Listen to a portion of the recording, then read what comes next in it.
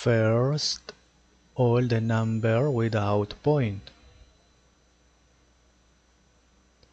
Here, 0.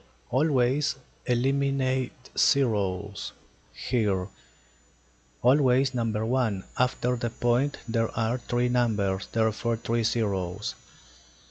Can be simplified because can be divided by the same number divided by 2 divided by 2 divided by 2 okay. Can be divided by 2 divided by 2 okay. Finish because cannot be divided by the same number